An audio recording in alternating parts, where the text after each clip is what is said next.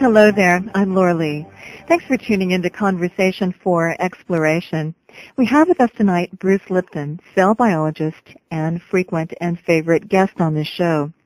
About a week ago, Bruce and I were chatting and he mentioned that some of the new data coming in from the Human Genome Project and all that research is confounding the standard scientist, but could be interpreted to support Bruce's thesis that he's been sharing with us for the last decade, and that is that those genes are very malleable, that they actually respond and interact with the environment, I suppose with consciousness as well.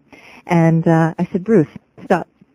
Do this on the show. You could spend an hour with me, and I would love that privately, but really everybody wants to hear what you have to say. This is all important research to us all. I'm sure the popular press only shares a part or sometimes often the wrong story. So let's let's hear it on the show so everyone can hear what you have to say.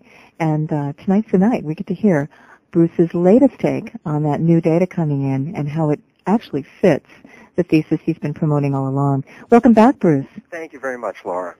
You know, I only have the sketchiest idea of what the Human Genome Project is all about, and perhaps that's where we should begin. Why don't you explain what it is, what it's finding that's confusing the scientist, and then how we can interpret that in the light of your thesis. And I also want to let everyone know that the previous interviews that you've had with us, and they're numerous, are available on our archives and through uh, cassette tape.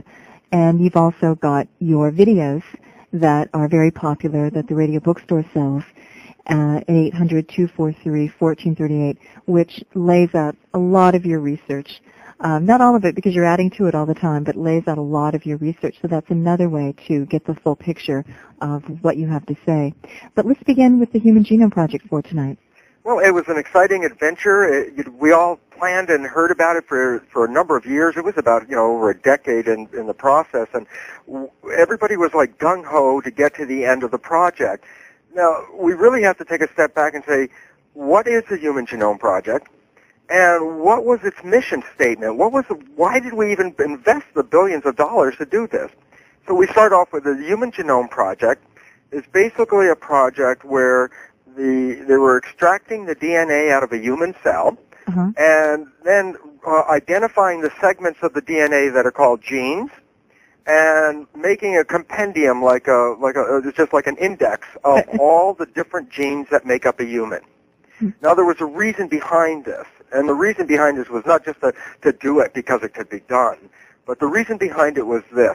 And, and, and this is where the fun part comes in because it's like a cosmic joke. It's a, uh, it's like a universe humor, I refer to it. it it's, that's something like, uh, when you could bet the, the, the farm and the kitchen sink that, that it's going to turn left and uh, with all your awareness and all your knowledge you know the thing is going to turn left and and just when you make the bet it, it turns right and and it, because it blows you for a loop because it says somewhere along the line your beliefs were so far off that you didn't even know you know you couldn't even uh, understand why it did that.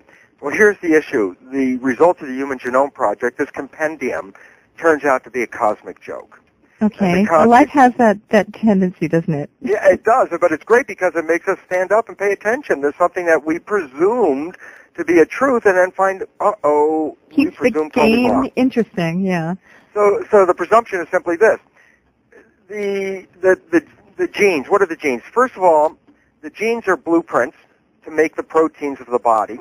And the reason why that's important is that the proteins of the body are the building blocks that give us our behavior and our characteristics and uh, everything that you see about an organism when you look at it, the character, shape, and behavior and actions are uh, some way related to the protein building blocks. So that knowing the, the uh, blueprints for the building blocks would help us uh, then say if there was something wrong with one of the uh, organisms that by changing this building block for another building block I can make a better or correct the organism's defect, whatever. So the compendium was this belief. In addition to genes that make proteins, there are genes that control the patterns and the unfolding and why we look like a human and a, and a chimp looks like a chimp and, and, a, and a snail looks like a snail because there, there are genes that control the patterns and there are also genes that presumably control the behavior. So the issue is the, the belief system. Genes are uh, providing the structure and function of the organism, and that you go from more primitive organisms to more complex organisms, you're going to see a change in the genes, and that change could be under, you know, looked at and understood as to how evolution occurred and how everything is interconnected, how chimps and humans differ, maybe looking for the genes that make us so special. And so basically that was the whole idea. The whole idea was just let's take a look and see if we can find all the pieces and parts that make up the human. Because And- that's what humans do. We like to puzzle things out. We like to get to the control switches.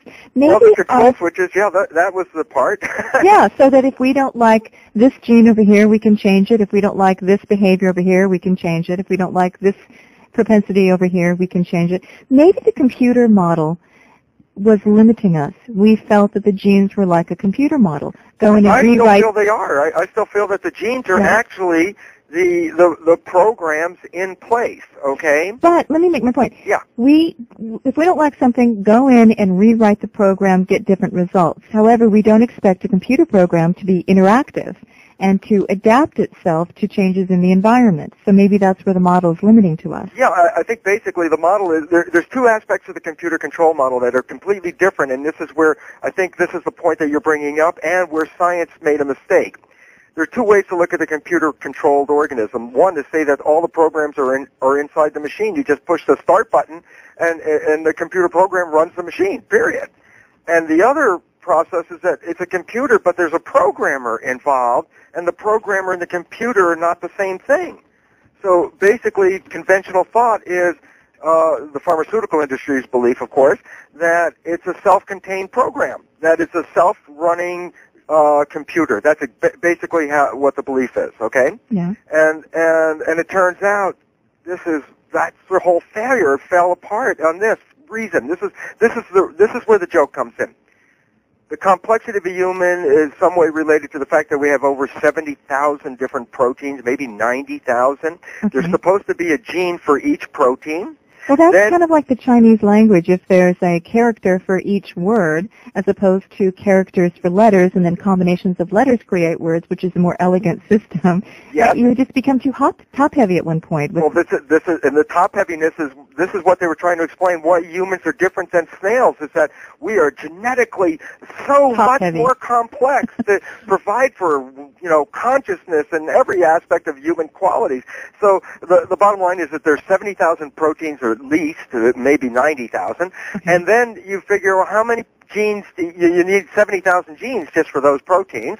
And then you're going to say well how many genes do I need to program this beautiful human complexity? And god the uh, 50,000 genes is an average number that's been estimated. But let's just say 30 and the reason why I say that if I had 30,000 control genes plus 70,000 genes to make the proteins then what we expect is this.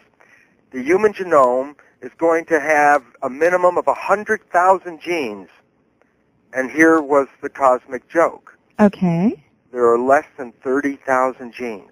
Okay, so a third of the estimated minimum number. So Not- obviously, not, even there. obviously the system is more sophisticated and um, saves space, has a space-saving mechanism. Absolutely. than we thought.